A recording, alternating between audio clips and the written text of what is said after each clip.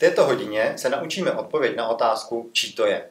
A jaké materiály použijeme a v jaké učebnici téma najdeme? Je to základní téma, takže ho najdeme v každé učebnici. Po každé se pojí s jiným tématem, ale často je to téma rodina. A my v našem kurzu ještě rodinu probranou nemáme. A proč vlastně nemáme probranou rodinu?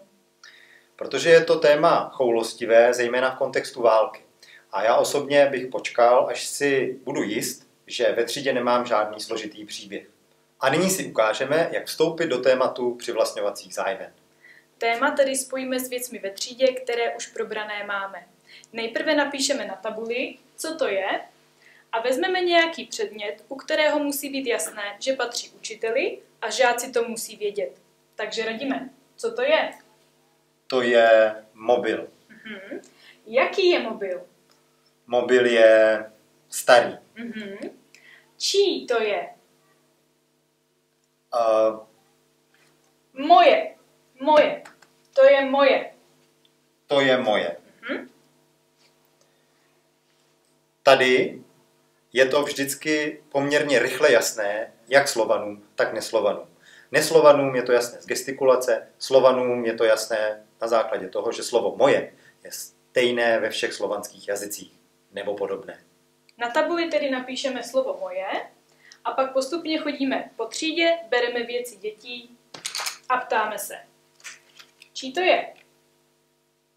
Uh, to je moje. To je moje. Postupně probereme všechna zájmena a musíme si dát pozor na to, že pokud si s dětmi vykáme, je potřeba naučit je i formu tykání, tedy slovo tvoje. V tomto případě nám dobře poslouží postavička, nebo panenka, nebo obrázek, které děti znají už z minulé hodiny a ví, že si s ní tykají.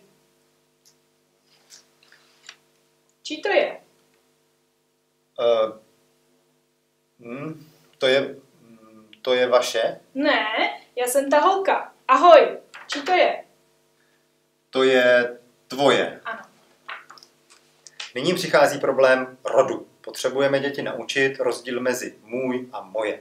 K tomu najdete ve všech učebnicích spoustu cvičení a návodů a tabulek. Tohle celé je docela zábavné, protože je to celkem jednoduché. Děti si zažijí ten správný pocit úspěchu a můžeme jít dál. V dalších hodinách budete narážet na to, že děti budou chybovat jak ve výslovnosti, tak v těch rodech, ale to pro tu první komunikaci vůbec nevadí.